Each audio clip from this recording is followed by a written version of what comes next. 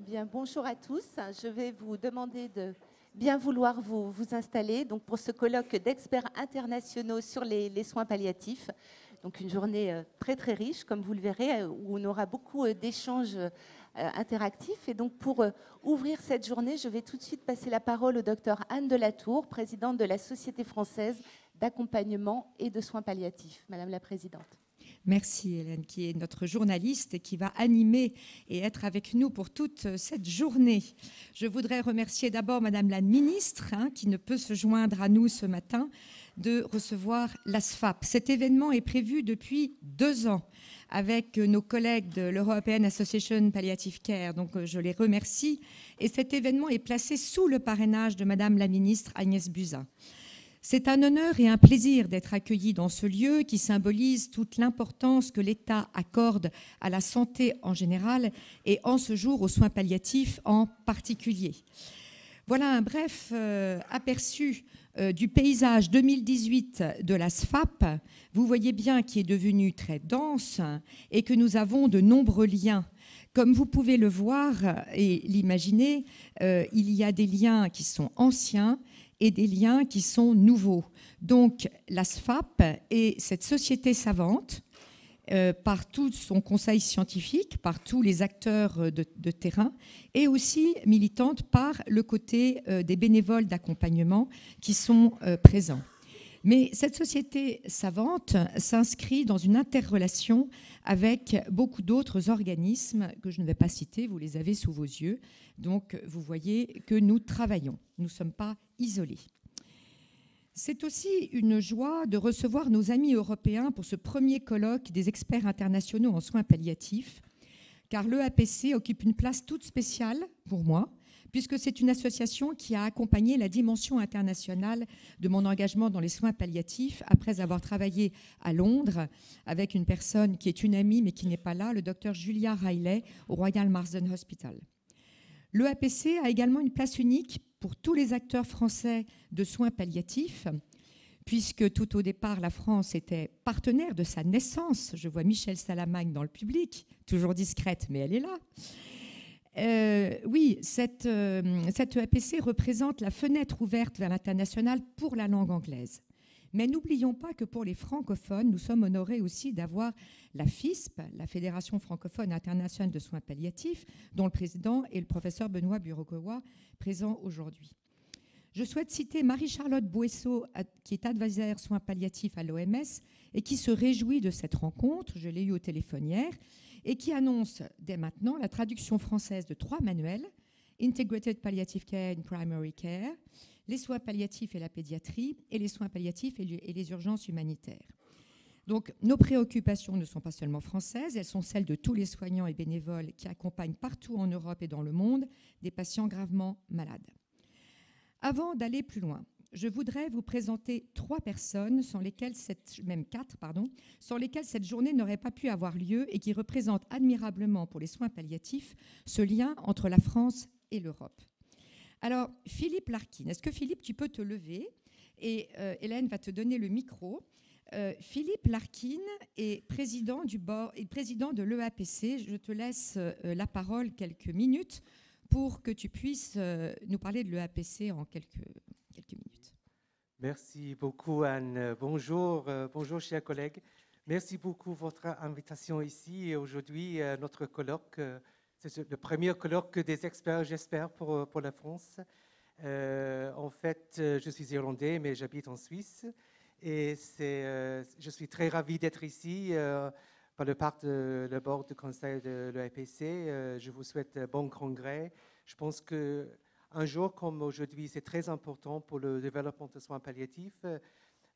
bien sûr en France, mais pour Europe entière et aussi pour le monde, parce que nous avons beaucoup d'expérience euh, en Europe et surtout en France pour le développement de soins palliatifs. Et je pense que nous, avons maintenant la possibilité de partager nos expériences, euh, nos espérances pour le futur. Et merci beaucoup, Anne, pour tout, euh, le SWAP en fait pour le développement de soins palliatifs ici en France. Je pense que c'est très important pour nous et aussi pour le partenariat entre l'EPC et, et le SWAP. Alors, je vous souhaite bon congrès et j'espère de vous revoir pendant la journée et aussi j'ai une petite présentation à la fin du jour. Merci beaucoup. Mmh.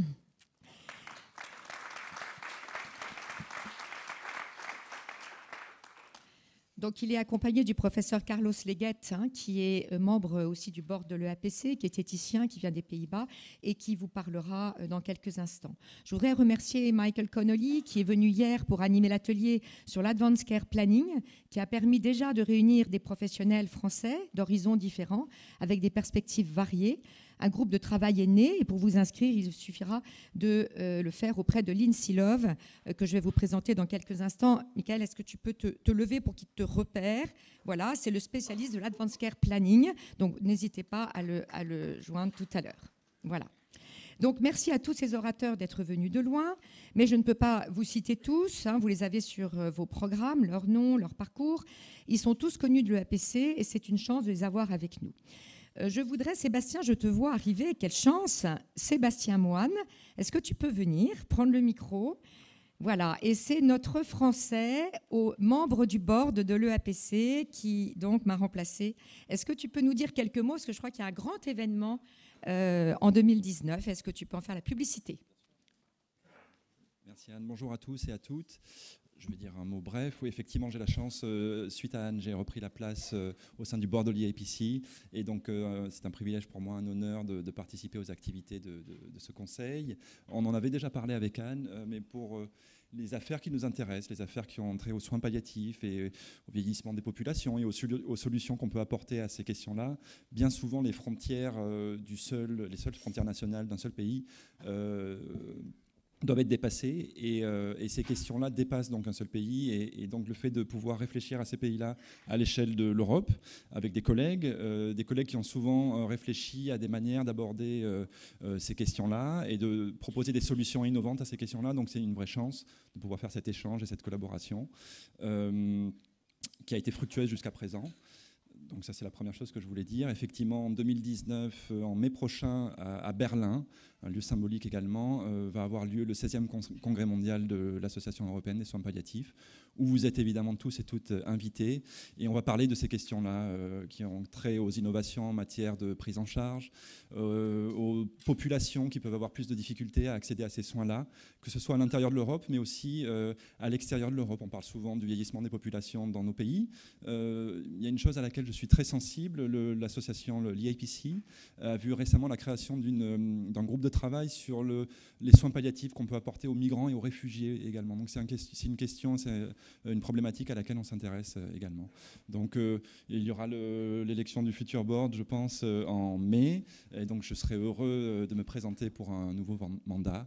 Et donc j'espère vous voir nombreux et nombreuses à Berlin. Merci à tous.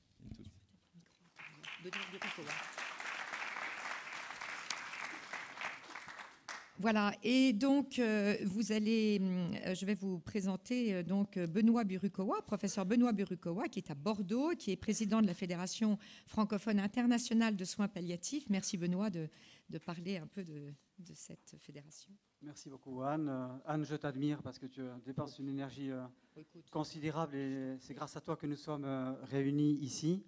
J'ai l'immense joie aussi d'accueillir Phil Larkin et sa team Hein, les gens de l'EAPC, EAPC que j'ai euh, vécu et côtoyé euh, à ses tout débuts. Et puis, euh, bien sûr, je suis heureux de vous voir tous ici réunis. C'est la fête mondiale des soins palliatifs. Il se trouve que ces soins palliatifs méritent d'être développés pour tous les gens, quelle que soit leur couleur, quelle que soit leur richesse, sur tous les continents. Et là, le travail est considérable. Alors, la petite FISP, Fédération francophone international de soins palliatifs fait appel à toutes les énergies, à toute l'imaginativité, à tout partenariat, bien sûr, avec le APC, parce que nous nous voulons francophones, mais de la manière la plus ouverte possible, sans aucune euh, forme belliqueuse. Hein. C'est vraiment euh, la francophonie euh, pour une identité, mais la plus ouverte possible. Et donc, nous allons nous rapprocher de, de, l'EAPC. Et puis, donc, je voudrais dire que nous avons des partenaires et que la première chose, c'est de faire du lien nous avons ici euh, Jim Bennett, qui est président de Hospice Afrique France. Euh, je pense à Douleurs sans frontières, je pense à l'Alliance mondiale contre le cancer, je pense à euh, l'association AK2. Enfin voilà, nous sommes ici pour faire la fête ensemble et avec une pensée quand même particulière pour tous ceux qui souffrent et qui n'ont pas accès à ces soins palliatifs et à cet accompagnement bénévole qui nous tiennent à cœur. Je vous remercie.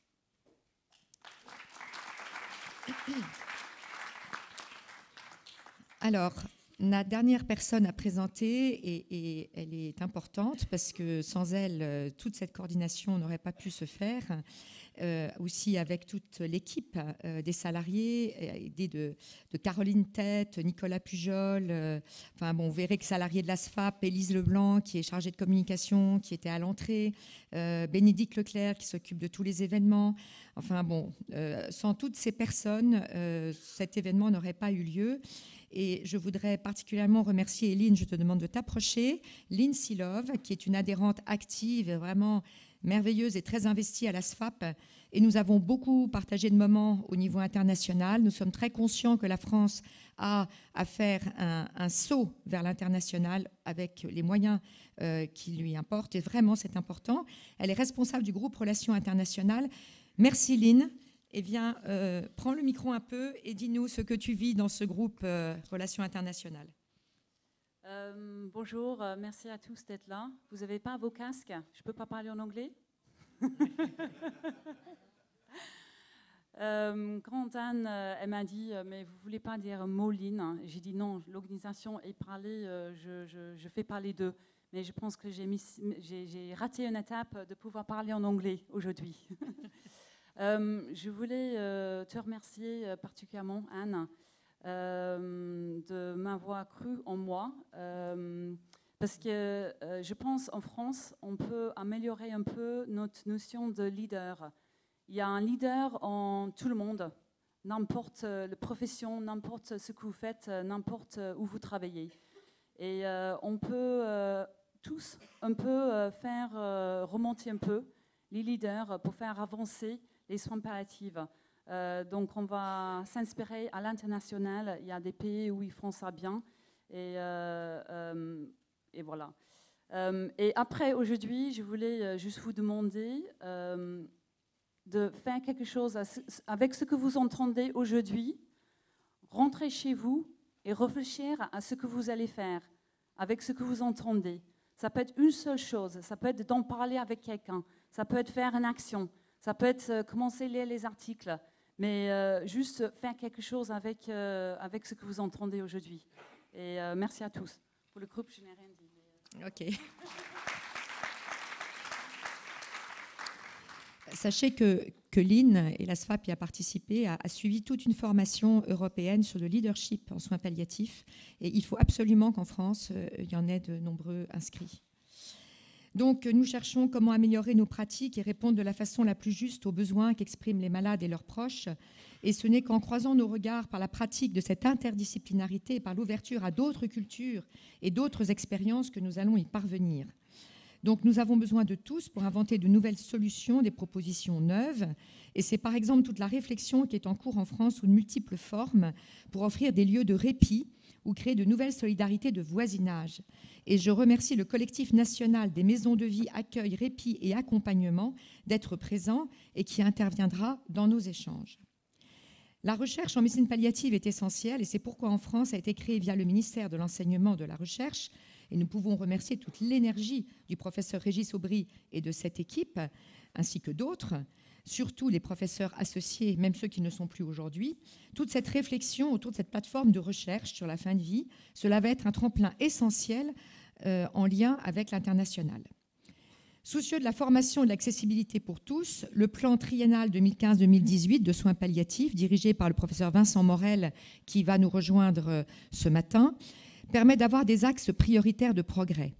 Cela n'a de sens que si ce plan se poursuit afin de permettre une vigilance. Avec Madame la Ministre, nous voulons soutenir la loi qui fixe le cadre législatif des prises en charge en fin de vie et mettre en œuvre son application pleine et entière. Cette loi nous donne les moyens de soulager et d'accompagner dignement les patients qui nous sont confiés. Enrichis des expériences, des pratiques et des réflexions de nos voisins d'Europe dans une société solidaire qui a le souci des plus fragiles, améliorons les conditions de la fin de vie de tous les patients. Nous formons ainsi le souhait que tous ceux qui ont besoin de soins palliatifs de qualité puissent y avoir accès. Ne partez pas sans retenir la règle des 3 P pour les soins palliatifs. C'est ce que je dis très souvent aux députés et sachez que nous en rencontrons beaucoup en ce moment. Et pas que des députés. La règle des 3 P, qu'est-ce que c'est? P comme précoce, P comme partout et pour tous. Précoce, partout et pour tous. L'avenir est bien de parler de soins palliatifs intégrés, Early Integrated Palliative Care. Merci à vous tous qui êtes venus parfois de loin pour ce temps de réflexion commun. Que cette journée soit riche et belle et que ce colloque soit le premier d'une longue série. I wish you a very nice and interesting day. Enjoy your time in Paris and thank you to you all. But I just would like to show you another slide and I hope that we are going to share for a better future. Voilà.